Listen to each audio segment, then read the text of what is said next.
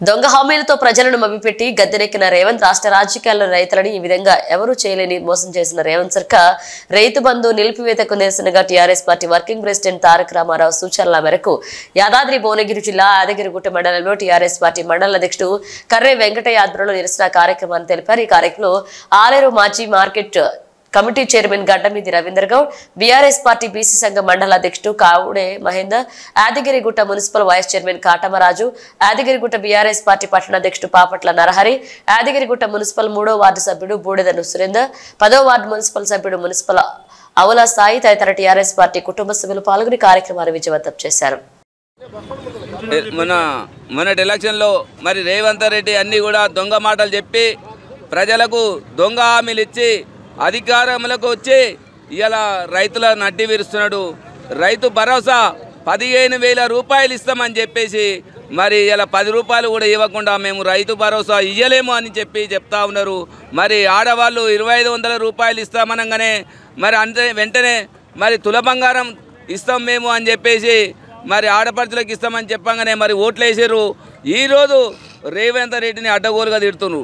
మరి అలా ఓట్లేసి గెలిపించుకుంటే అందరు నోట్లో కూడా కూలుస్తున్నాడు. ఈ గుంపు మేస్త్రి ఇండ్లు కట్టేటైనా కాదు ఇండ్లు కూల్చేటైనా రైతుల నోట్లే మట్టి కొట్టేటైనా కాబట్టి ప్రజలు బుద్ధి చెప్పాలి. రేపు రాబోయే స్థాని స్థానిక ఎన్నికల్లో అందరూ కూడా కాంగ్రెస్ వాళ్ళకు బుద్ధి చెప్పాలని చెప్పేసి వెంటనే రుణమాఫీ చేసి రుణమాఫీ చేయాలి అదేవిధంగా మరి రైతు భరోసా వేయాలి లేదంటే మా ఉద్యమం ఉధృతం చేస్తాం కాబట్టి వెంటనే రుణమాఫీ చేయాలని హెచ్చరిస్తా ఉన్నాం.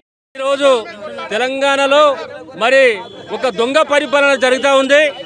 మరి తెలంగాణ అని అంటే మరి ఎంతో కష్టపడి ఎన్నో ఉద్యమాల ద్వారా మరి మన కేసీఆర్ గారు తెలంగాణ రాష్ట్రాన్ని తెస్తే ఇవాళ అధికారంలోకి వచ్చి మరి దొంగ హామీలు ఇచ్చి రేవంత్ రెడ్డి సర్కార్ మరి రైతులను ప్రజలను మోసం చేస్తూ ఉంది. దీనికి నిరసనగా ఈరోజు యాదగిరిగుట్ట పట్టణంలో మరి రాష్ట్రరోగా చేపడతా ఉన్నాం. బీఆర్ఎస్ పార్టీ పట్టణ పార్టీ టౌ- టౌన్ పార్టీ ఆధ్వర్యంలో మరి రాష్ట్రరోగా చేపడతా ఉన్నాం. మరి ఇవాళ ఒక్కటే రేవంత్ రెడ్డి గారిని విమర్శ చేస్తూ ఉన్నాం. ఇవాళ రైతులకు రుణమాఫీ చేస్తని. మరి నేటి వరకు కూడా రుణమాఫీ సరిగా చేయలేదు. మరి రైతు బంధు ఇస్తాను కూడా. మరి రైతులకు సరైన రైతు రీతిలో రైతు బంధు ఇవ్వట్లేదు. మరి దొంగ హామీలు ఇచ్చినటువంటి రేవంత్ రెడ్డి సర్కారులు మరి తగిన గుణపాఠం చెప్పాల్సిన అవసరం ఉన్నది. మరి రాబోయేటువంటి స్థానిక ఎన్నికల్లో మరి యొక్క ప్రభుత్వాన్ని గద్దదించడం కోసం బీఆర్ఎస్ ప్రభుత్వం మరి బీఆర్ఎస్ పార్టీ తగిన గుణపాఠం చెప్తుందని తెలియజేస్తూ మరి దొంగ హామీలు ఇచ్చినట్టు రేవంత్ రేవంత్ రెడ్డి సర్కారును మరి కూల్చడం కోసం కూడా మరి బీఆర్ఎస్ పార్టీ పనిచేస్తుంది.